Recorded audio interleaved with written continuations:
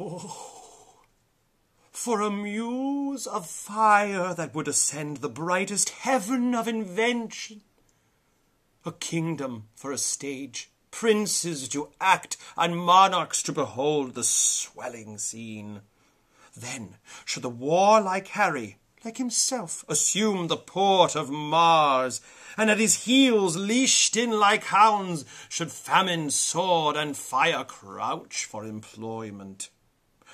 But pardon, gentles all, the flat, unraised spirits that hath dared on this unworthy scaffold to bring forth so great an object. Can this cockpit hold the vasty fields of France? Or may we cram within this wooden, oh, the very casques that did affright the air at Agincourt? Oh, pardon, since a crooked figure may attest in little place a million. And let us ciphers to this great account on your imaginary forces work.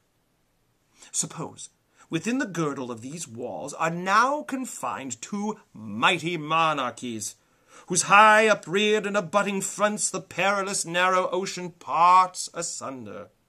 Piece out our imperfections with your thoughts, into a thousand parts divide one man, and make imaginary puissance. Think, when we talk of horses, that you see them printing their proud hoofs in the receiving earth, for 'tis your thoughts that must now deck our kings, carry them here and there, jumping over times, turning the accomplishment of many years into an hourglass.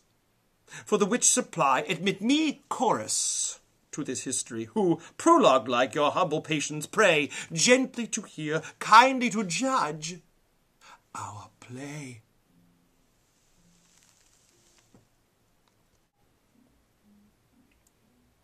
To be or not to be, that is the question. Whether 'tis nobler in the mind to suffer the slings and arrows of outrageous fortune, or to take arms against a sea of troubles and by opposing end them. To die, to sleep, no more, and by a sleep to say we end the heartache and the thousand natural shocks that flesh is heir to. 'Tis a consummation devoutly to be wished to die.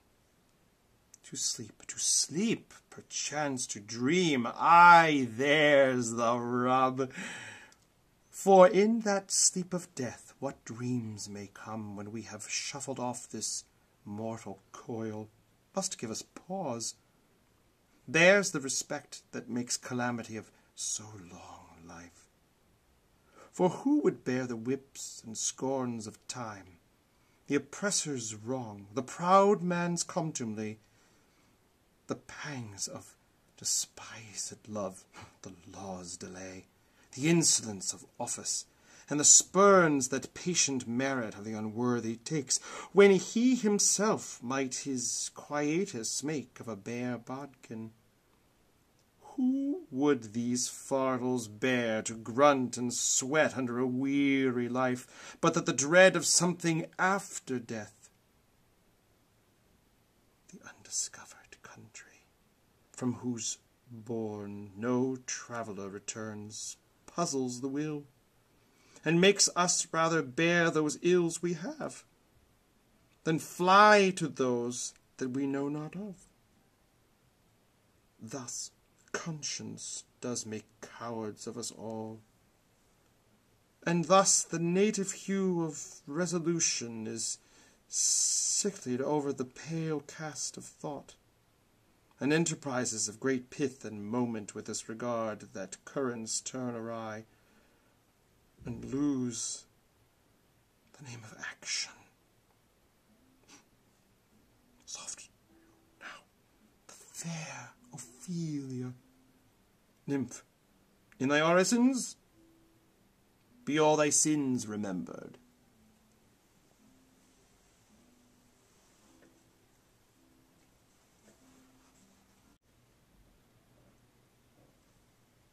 I have heard, but not believed, the spirits of the dead may walk again. If such thing be, thy mother appeared to me last night, for ne'er was a dream so like a waking. To me comes a creature, sometimes her head on one side, some another. I never saw a vessel of like sorrow, so filled, so becoming. In pure white robes, like very sanctity, she did approach my cabin where I lay, thrice bowed before me, and gasping to begin some speech, her eyes became two spouts. The fury spent anon did this break from her. Good Antigonus, since fate against thy better disposition hath made thy person for the thrower out of my poor babe, according to thine oath, places remote enough are in Bohemia, there weep and leave it